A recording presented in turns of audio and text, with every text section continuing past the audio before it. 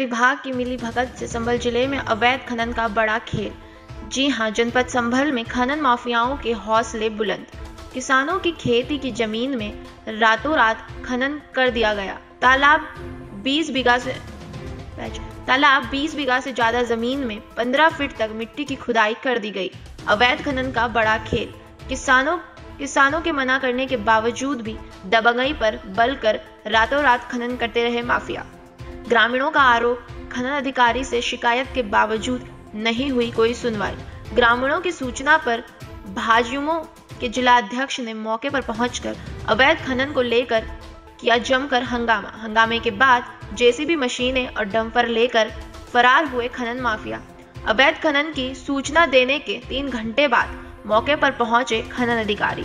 सुरेंद्र लाखाड़ा भाजयुमो जिलाध्यक्ष ने खनन अधिकारी के सामने हंगामा कर सुनाई जमकर खरी खोटी। सदर कोतावली इलाके के बिछौनी गाँव में जंगल का मामला। शाम होते ही शहर की चारों दिशाओं में सड़क पर दौड़ते हुए दिखते हैं। मिट्टी से भरे हुए डंपर व ट्रैक्टर। और बालू खनन। दिन भर जो है 20 से 50 ट्रैक्टर पूरे जनपद में भागे फिरते हैं क्या मामला है? अभी ऐसा है कि एक आदेश आया हुआ है शासन से कि साधारण मिट्टी का रॉयल्टी ज़ीरो कर दिया गया है।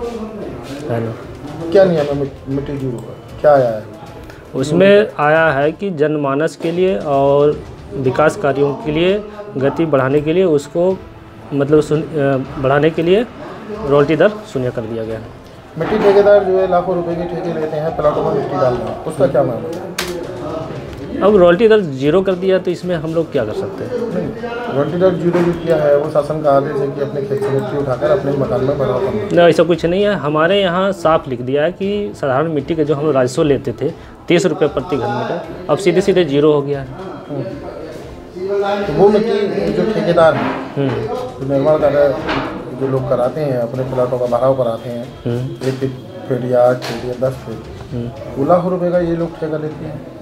और उसमें मिट्टी अपना बेच रहे हैं।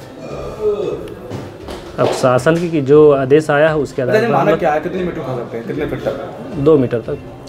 और जो ज़्यादा उठा रहे हैं उन पर क्या कार्रवाई करेंगे आप? या क्या कार्रवाई हो सकती है आपकी तरफ़ से?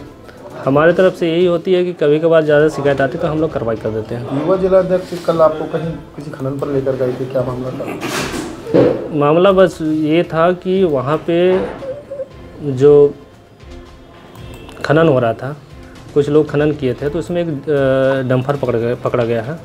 उसके यानी जेसीबी से खुदाई हो रही थी। हाँ जेसीबी से खुदाई हो रही थी इसलिए डंपर पकड़ एक डंपर जो शासन आदेश आया है वो जेसीबी से खुदाई का है क्या?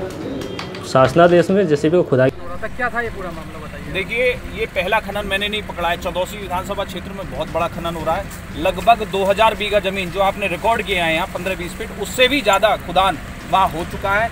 ये सारा अवैध खनन खनन अधिकारी लाकड़ा जी के संरक्षण में चल रहा है। बड़े बड़े खनन माफिया इनके यहाँ चौबीस घंटे पड़े रहते हैं। मैंने अनेकों बार शिकायत की, इन किसानों ने अनेकों बार शिकायत की, लेकिन कोई संज्ञान नहीं लिया। ये ऐसे अधिकारी सरकार की छवि को धूमिल करने का काम कर रहे हैं, लेकिन हम लोग भी भारतीय जनता पार्टी के कार्यकर्ता है, कोई भी गलत काम किसी भी प्रकार से नहीं होने देंगे। और जो इस प्रकार के अधिकारी हैं, सरकार की मंशा के खिलाफ काम कर रहे हैं, उनको किसी भी प्रकार से जनपद संबल में नहीं रहने दिया जाएगा। हम अपने जो संगठन हैं और सरकार के उच्च अपनी सरकार को अवगत कराएँगे कि इस प्रकार की कार्यप्रणाली करने वाले अधिकारियों को सस्पेंड किया जाना चाहिए। इनके विरुद्ध कड़ी से कड़ी कार्रवाई की जानी चाहिए। जहाँ पर्यावरण संरक्षण की बात हो रही है, वहाँ इस तरह से 25-25 फीट खुदाई कर रहे हैं। क्या यहाँ खेती होगी? तमाम तरह की चीज़ें, सब सारे नियम कानून को धत्ता बताकर ये सब लोग इस तरह खनन माफियाओं के साथ मिलकर कार्य करा रहे हैं। बहुत ही निंदनीय है, ऐसे अधिकारियों के प्रति सप्रथम ऐसे अधिकारियों के विरुद्ध कड़ी कानूनी कार्रवाई होनी चाहिए।